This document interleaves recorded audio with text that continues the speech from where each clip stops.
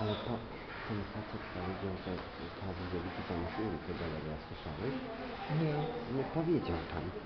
Obawiam się, że Galeria Teatru Wielkiego odmówiła dzisiaj w nocy muzeum widzenia.